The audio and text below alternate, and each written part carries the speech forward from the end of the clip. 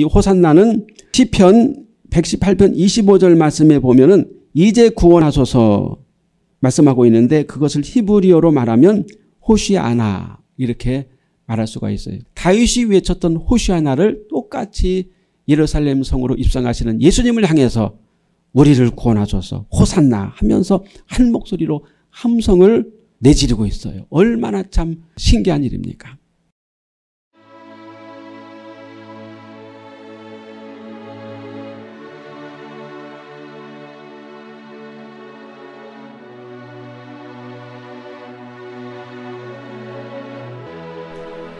오늘 말씀은 너희 하는 일이 쓸데없다 라는 제목으로 요한복음 12장 9절에서 19절 말씀을 함께 나누겠습니다. 예수님께서 죽은 나사로를 살리신 후에 소문이 온 유대와 예루살렘에 급속히 퍼져서 많은 사람들이 나사로를 보기 위해서 벌떼같이 몰려들었다. 이렇게 요한복음에 기록되어 있습니다.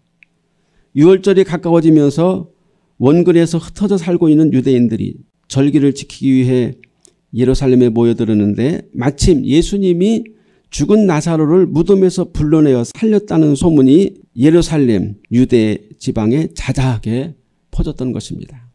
물론 그 당시 헬라 문명의 영향을 받고 있었기 때문에 그리스 신화나 또는 로마 신화에서도 죽은 자를 살려내었다고 하는 스토리가 퍼져 있었습니다. 그러나 그것은 어디까지나 신화이고 현실로 증명되지 않는 전설일 뿐이었습니다.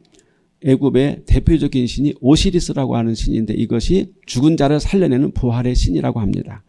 또 로마 신화에서는 디오니소스라고 하는 신이 있는데 디오니소스라는 신도 역시 부활의 신이라 이렇게 말하고 있어요.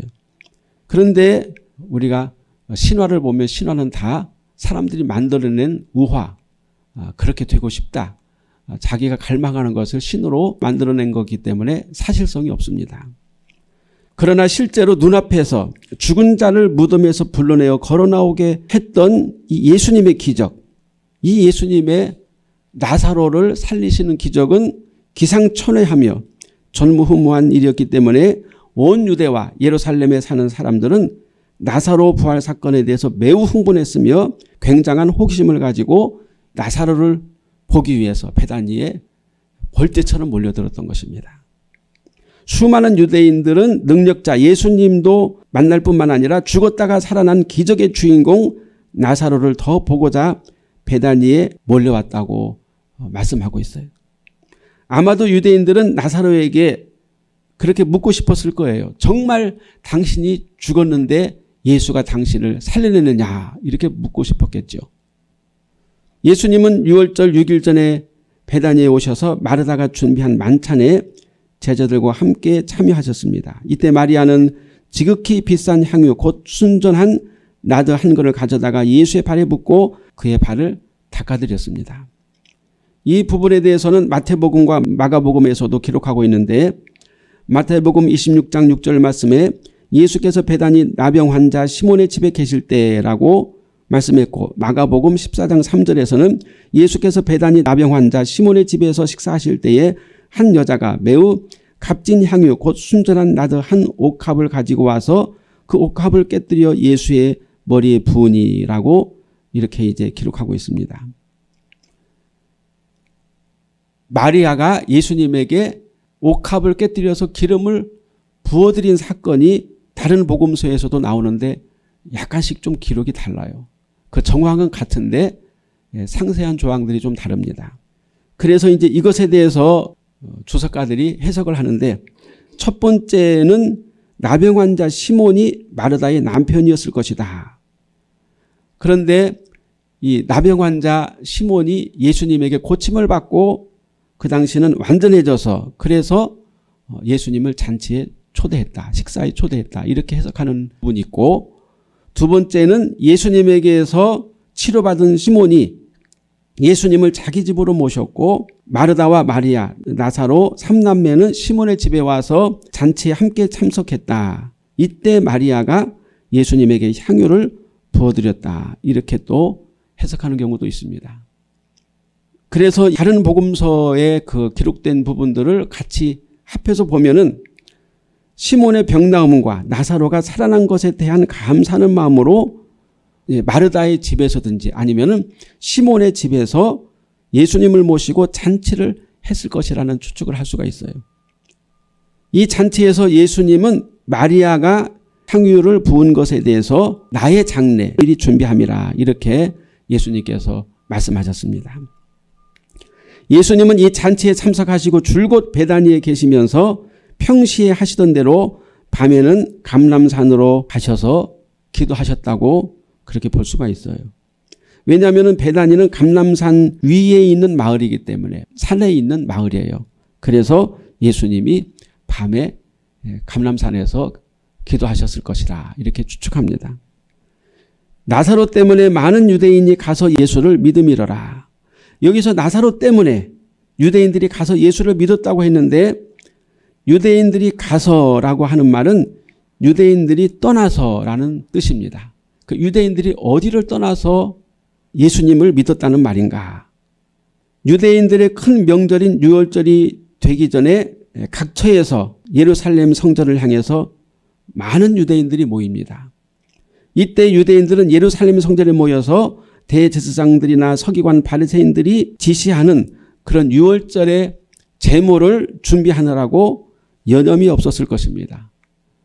그런데 유월절 절기를 지키기 위해서 사방에서 온 유대인들이 거의 대부분 또 수많은 유대인들이 죽은 나사로를 살렸다는 소문을 듣고 예루살렘을 벗어나서 옆에 있는 베다니 옆에 있는 마을인 베다니로 대거 수많은 유대 무리들이 몰려갔다 그 말이에요. 그러므로 아마 그 당시 베다니는 작은 동네인데 수많은 유대인들로 장사지를 이루었을 것입니다. 유대인의 대절기인 예루살렘 유월절 잔치가 예수님이 죽은 나사로를 살리신 베다니에 온통 집중되어지는 것을 보고 대제사장들과 바리새인들은 어떻게 했어요? 매우 기분이 나빴겠죠.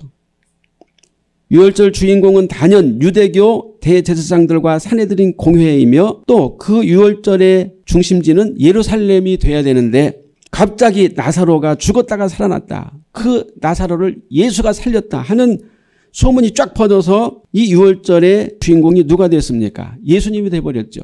예수님이 온통 관심을 받게 되고 또 유대인들이 예루살렘에 머물지 않고 어디로 갔다고 그랬어요. 베다니 예, 예루살렘에서 2km 떨어진 베다니로 몰려가서 예수님과 나사로를 보기 위해서 막 장사진을 이루었다. 난리를 쳤다.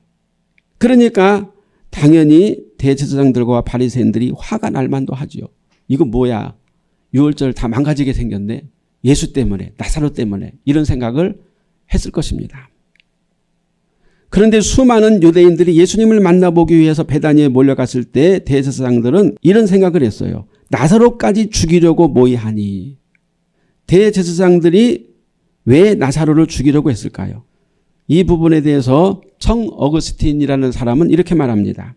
대제사장들의 어리석음은 만일 그들이 나사로를 죽인다면 예수가 두 번씩이나 죽은 나사로를 살리지 못할 거야 하고 생각했던 것이다. 그러나 대제사장들이 나사로가 두 번 죽었다가 두 번 살아나는 일은 보지 못했지만 예수님 자신이 죽었다가 다시 살아나는 부활을 봐야만 했었다. 대제사장들과 장로들은 죽었다가 살아난 나사로만 죽인다면 예수는 힘을 잃고 유대인들이 예수를 따르지 않을 것이라고 착각했지만 예수님 자신이 부활이요 생명이요 생명의 주가 되어서 십자가의 죽음에서 부활할 것이라는 사실을 그들은 전혀 알지 못했다.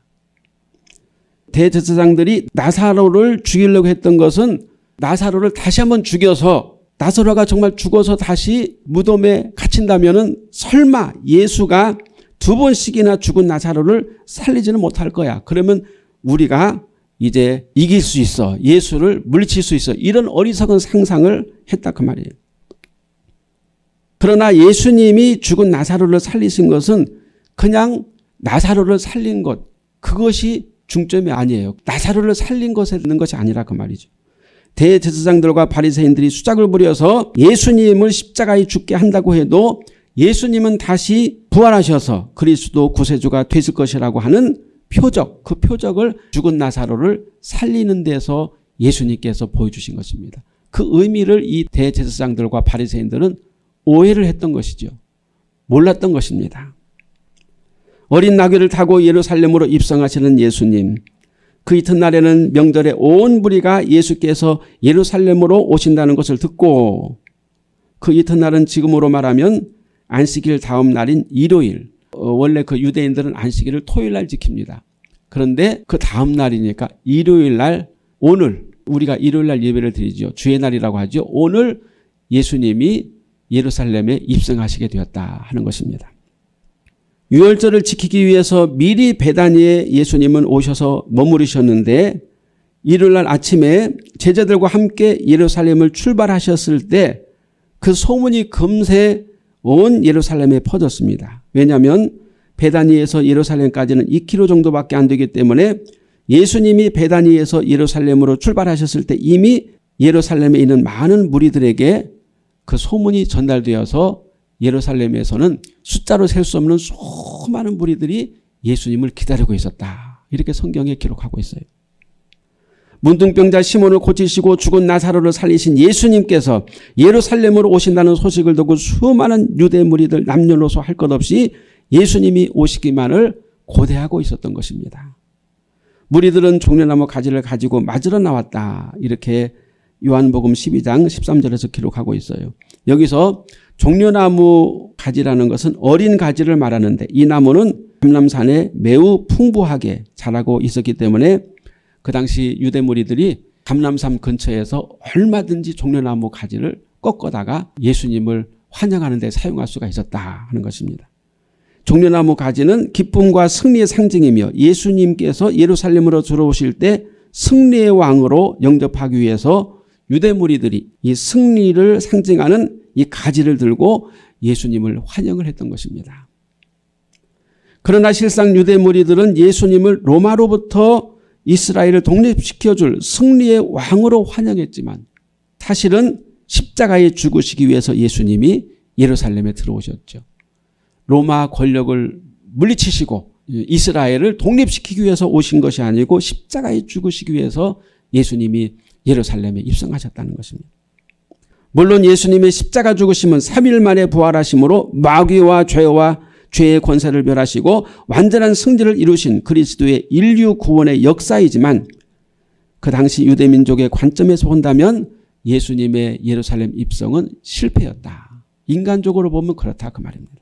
예수님의 십자가의 죽으심과 부활은 인간 세상에서는 실패요 좌절이지만 우리 그리스도인들 예수 그리스도를 주로 믿고 하나님으로 믿는 우리들에게는 완전한 구원과 승리의 기쁨을 이루신 종려 가지와 같은 승리의 별관이 되는 것입니다.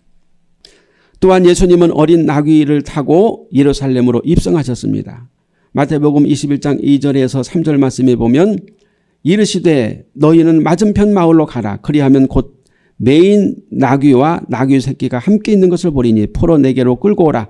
만일 누가 무슨 말을 하거든 주께서 쓰시겠다 하라. 그리하면 즉시 보내리라 하시니. 이렇게 이제 마태복음에 예수님께서 어린 나귀, 나귀 새끼를 준비하시는 과정이 기록되어 있어요. 맞은편 마을은 정확하게 어디인지 알 수 없지만 유대인들의 그 전성에 의하면은 노비라고 하는 마을이라고 합니다. 이 노비라는 마을은 예루살렘에서 가깝고 제사장들의 마을이라고 하는데 과거 다윗이 사울왕의 핍박을 피하여 잠시 숨었던 장소이기도 해요. 이곳에서 다윗은 제사장 아이멜렉을 만나서 허기진 배를 채우기 위해서 제사 음식을 얻어먹었고 골리앗의 칼을 취하게 되었지만 사울왕은 다윗을 도와주었다는 핑계로 제사장 아이멜렉과 그의 가족을 죽이라고 명령했고 도액이라는 자가 제사장의 가족을 학살하는 전무후무한 대참극을 벌인 곳이 바로 이 노비라는 곳입니다. 유대인들에게 노은 다윗이 사울왕의 핍박을 피하여 잠시 머물었던 도피성과 같은 곳이라고 아마 기억을 했을 것입니다. 그러나 예수님께서 예루살렘 근처의 마을에서 나귀 새끼를 가지고 오라고 제자들에게 명하셨는데 그곳이 다윗이 피하였던 노비라는 곳이 아닌가 그렇게 추측만 할 뿐입니다. 예수님께서 어린 나귀를 타고 예루살렘에 입성하신다는 사실은 이미 이사야서 62장 11절과 스가랴 9장 9절에 예언이 되어 있습니다. 시온에 따라 크게 기뻐할지어다 예루살렘에 따라 즐거이 부를지어다 보라 내 왕이 내게 임하시나니 그는 공의로우시며 구원을 베푸시며 겸손하여서 나귀를 타시나니 나귀의 작은 것 곧 나귀 새끼니라. 여기서 나귀 새끼는 멍에를 메어보지 않은 그런 어린 나귀를 말합니다. 이사야서 62장 11절 말씀에 보면 너희는 딸 시온에게 이르라. 보라 내 구원이 이르렀느니라. 보라 상급이 그에게 있고 보응이 그 앞에 있느니라. 요한복음 12장 15절에서는 이 이사야의 예언과 또 스가랴의 예언을 합해서 인용해서 이렇게 말하고 있어요.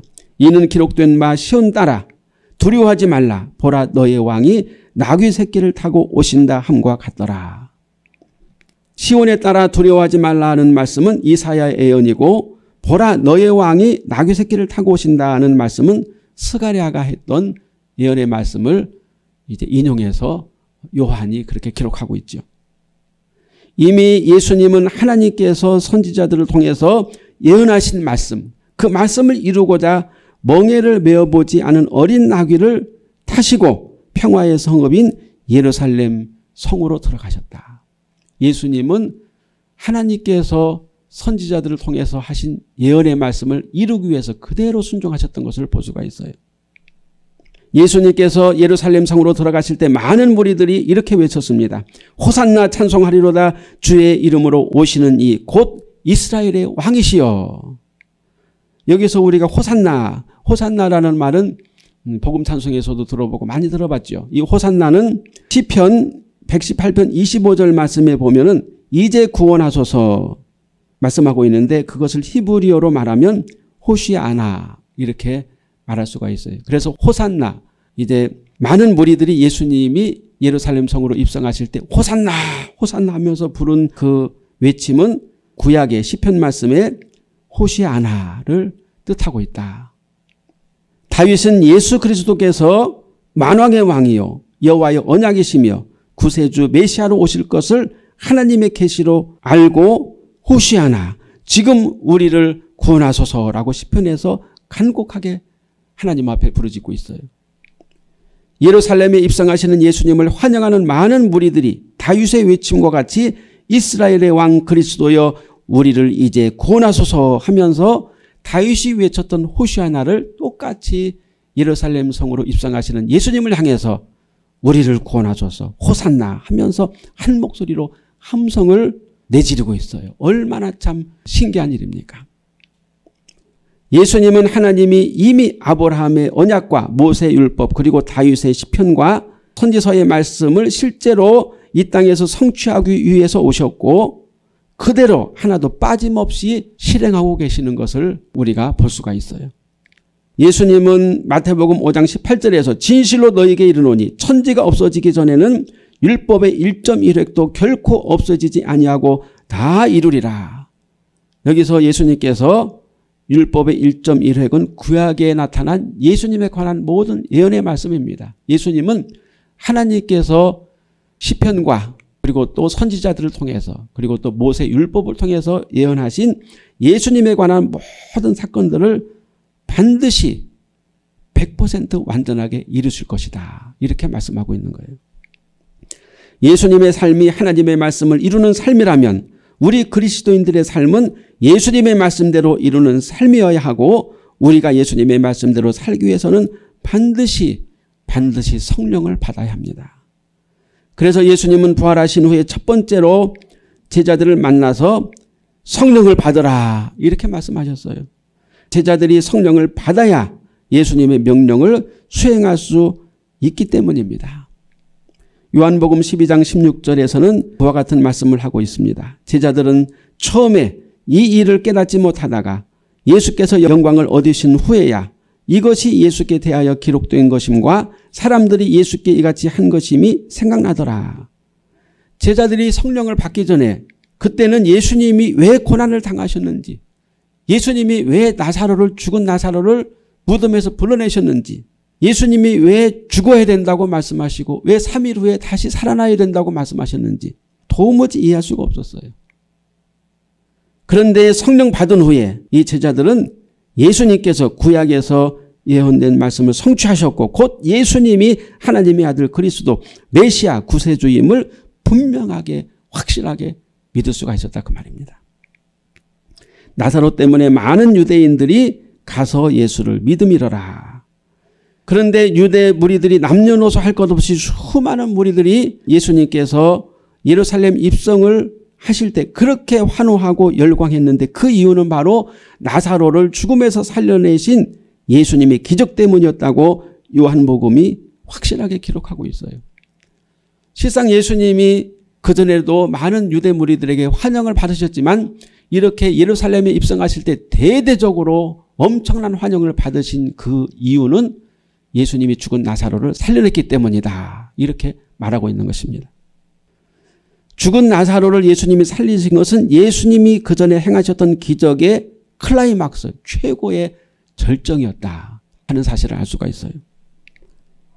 요한복음 12장 17절 18절 말씀에 보면 나사로를 무덤에서 불러내어 죽은 자 가운데서 살리실 때에 함께 있던 무리가 증언한지라 이에 무리가 예수를 맞으면 이 표적 행하심을 들었음이러라.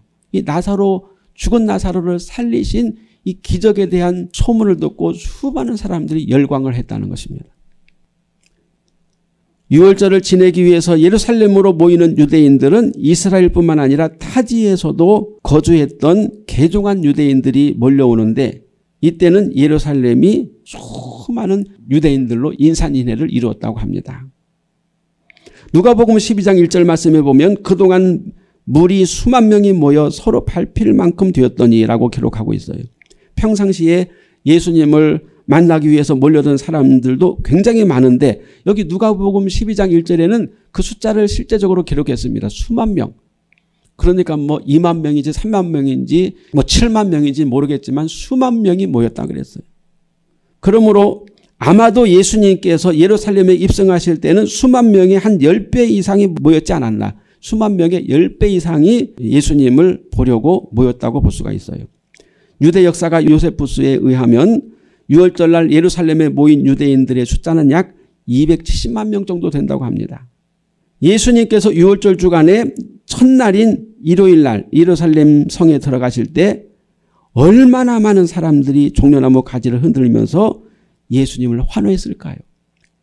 일반적으로 6월절 때 모이는 유대인의 숫자가 270만 명.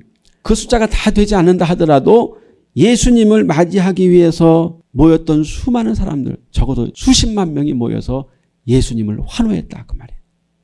호산나 다윗의 자손이여 찬송하리로다. 주의 이름으로 오시는 이여 가장 높은 곳에서 호산나 하면서 수십만의 사람들이 모여서 예수님을 환호했습니다. 우리가 로마 시대를 배경으로 한 영화를 보면 로마 황제가 나올 때 수많은 군중들이 황제를 연호하면서 소리치면서 외치는데 이때 마치 그 수많은 군중들의 환호하는 소리가 천둥 소리 같이 느껴지고 매우 공포스럽게 느껴집니다. 예수님께서 예루살렘에 입성하실 때 수십만 명의 사람들이 모여서 다윗의 자손이여 하고 외쳤을 때 그 우레와 같은 소리에 유대 무리들은 막 흥분했을 거예요. 그렇지만 반면에 대제사장들과 바리새인들은 아마도 소름이 돋고 몸에 털이 곤두서는 공포를 느꼈고 이제는 더 이상 예수를 막을 방법이 없구나 하고 절망감에서 온몸을 떨었을 거예요. 이제는 끝났구나. 이제는 예수를 당해볼 수가 없구나. 이런 절망감에 대제사장들과 바리새인들이 사로잡혔다 그 말입니다. 이미 예수님은 죽은 나사로를 살림으로 이스라엘의 영웅이 되었고 유월절을 맞이하기 위해서 사방에서 몰려든 유대 무리들은 예수님을 이미 유대의 왕으로 인정하고 마치 로마인들이 그들의 황제를 연호하듯이 예수님을 향해서 다윗의 자손 우리 왕이여 이스라엘의 왕이여 하면서 막 환호하면서 소리를 외치는데 그 광경이 얼마나 두렵고 떨렸을까. 이때 바리새인들은 이 놀랍고 경이로운 광경을 보면서 서로 말했습니다. 뭐라고 말했습니까? 볼지어다 너희 하는 일이 쓸데없다. 보라 온 세상이 그를 따르는도다. 실상 이 말은 우리가 무슨 짓을 해도 저 예수를 막을 수가 없어. 이미 예수는 이스라엘의 왕이 되었어. 이런 절망감과 자괴감에 이 바리새인들과 대제사장들이 빠져 있었다 그 말입니다. 이제 우리를 도와주는 것은 이 세상에 아무것도 없어. 모든 사람들이 예수를 왕으로 따르고 있지 않느냐 봐라. 대제사장들과 바리새인들은 그들이 유대 종교 권력을 유지하기 위해서 예수를 막아야 되는데 예수가 유명세를 타는 걸 막아야 되는데 그것을 막는 일은 이제 불가능해. 방법이 없어. 끝났어. 하는 것을 체감하게 되었고 이제는 대세가 예수에게 기울어졌다고 하는 사실을 인정할 수밖에 없는 상황이 되었다는 것입니다. 만일 예수님이 모든 유대 군중들에게 인정받고 왕으로 환호를 받는다면 바리새인들도 수긍하고 따라야 됩니다. 유대 무리들이 그렇게 예수님을 존경하고 예수님을 왕으로 모시겠다고 하면은 지도자급 유대 종교 지도자급인 바리새인들도 인정을 해야지요. 그런데 반대로 예수님이 인기가 절정에 오를수록 대제사장들과 바리새인들 사내들인 공회원들의 마음속에는 저 예수를 반드시 죽여야 된다. 타함이 더욱더 그들의 마음속에 불처럼 타올랐다 그 말이에요. 볼지어다 우리 하는 일이 쓸데없다. 모의도 계략도 다 필요 없다. 유대인들이 저렇게 예수한테 열광하는 것을 봐라. 우리가 할 수 있는 최후의 방법은 반드시 예수를 사형대 올리는 것 뿐이다. 이렇게 결론적으로 그들이 말하는 거예요. 유대교 권력자들은 예수를 그들의 소망으로 삼지 않고 세상의 부귀영화를 그들의 소망으로 삼았기 때문에 예수 때문에 불가능하다. 예수 때문에 우리가 망했어. 예수 때문에 우리가 계속해서 세상의 부귀영화를 누릴 수가 없다는 절망감, 좌괴감 그런 것 때문에 최후의 수단으로 누구와 손을 잡았습니까? 사탄과 손을 잡고 예수를 십자가형에서 죽게 하는 방법을 택했다. 그 말이에요. 사람들이 그들의 소망이 끊어지고 희망이 사라졌다고 생각하면 그 다음에는 뭐 합니까? 그 다음에는 인생을 막 살지요. 방탕하고 범죄를 저지르고 흉악범이 되고 맙니다. 사회에서 흉악죄를 저지른 범죄자들을 보면 대부분 세상에는 소망이 없어. 나에게는 희망이 없어. 이제 끝나는 거야. 이제 끝장이야 하면서 극단적으로 절망하고 낙심하는 그런 마음을 가지고 있어요. 그 순간에 엄청난 범죄를 저지르고 뭐가 됩니까? 엄청난 범죄자가 되고 막가파가 되는 거예요. 그냥 막 사는 거죠. 이 세상의 소망은 십자가에 죽으시고 부활하시고 천국의 생명을 주신 예수 그리스도이십니다. 예수님을 세상의 소망으로 삼지 않고 자기의 권력이나 야망 혹은 자신의 인기나 명예를 소망으로 삼는 자는 결국 사탄의 사주를 받아서 막합한 인생을 살게 될 것이고 결국은 멸망에 이르게 될 것입니다. 그러나 예수 그리스도를 오직 세상의 소망으로 삼는 자는 부활의 영광과 영원히 죽지 않고 사는 거룩한 기쁨을 영원히 누리게 될 것을 생각하고 기뻐하고 기뻐하며 예수님을 환호하게 될 것입니다. 기도하겠습니다.